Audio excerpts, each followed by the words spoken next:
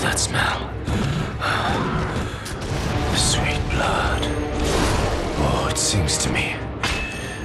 It's enough to make a man sick.